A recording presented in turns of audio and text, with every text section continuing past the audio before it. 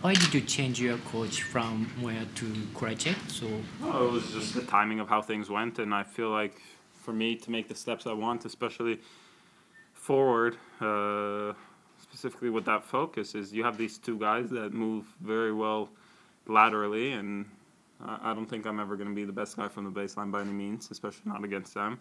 If I'm going to take it to them, it's going to be by coming forward. So I wanted to improve in that aspect.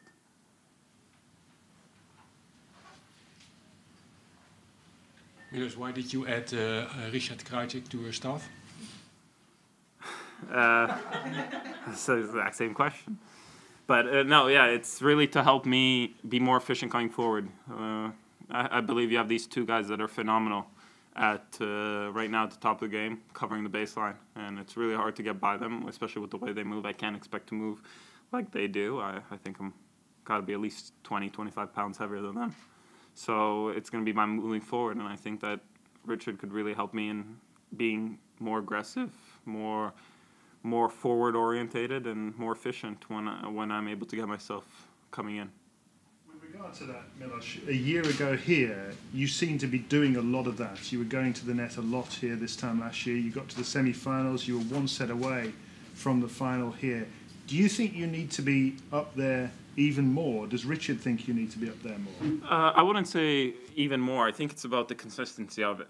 When I was here last year, I was very efficient at coming forward. I did a lot of things well, but if you, it could be because of the sort of injury after that I didn't have really the capacity to train properly.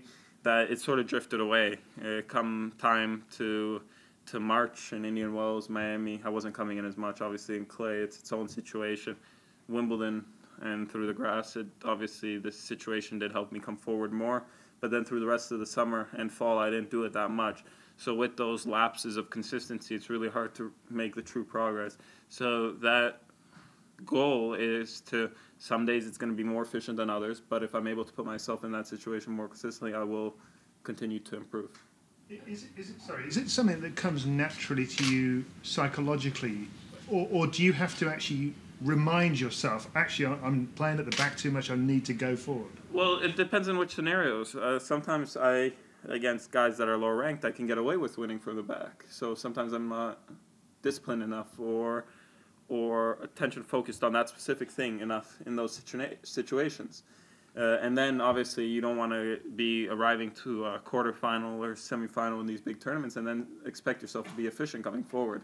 So it's about attaining that perspective and that command within myself to do it from the beginning of the tournament so that when it, it does get to later stages where it's not very optional, it's something that I need to do if I want to give myself the best opportunity to win. It's been already sort of tried, tested, and true by then.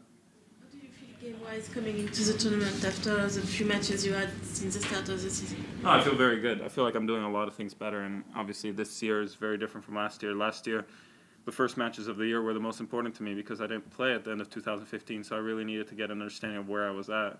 Right now, I have a much better understanding of where I'm at, and now it's really about I know what I can get out of myself. It's more important to be mentally prepared sort of grit my way through and get that out of myself. Some days I'll be successful, some days not, but if I'm mentally able to really be on top of myself, I'll give myself somewhat of a chance to win and hopefully progress throughout the tournament you, you are world number three right now. So could you catch up uh, Novak and Andy? So do, do you have a confidence? I, I definitely do have that confidence, but it's going to take some time because uh, they're significantly ahead of any, anybody as, as far as points goes and as far as results over the past 12 months. Have you changed anything in your preparation physically? I mean, to try to get rid of the injuries you, you got uh, last uh, year? We focused on different things. I think sort of the hours spent on court, we did that a little bit less in the off season.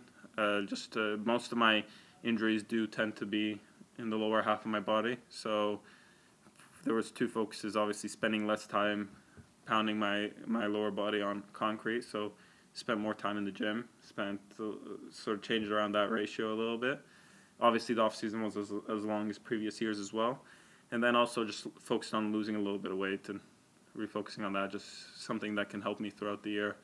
Obviously, those uh, those hours spent with a few extra pounds here and there can make a difference. Hopefully.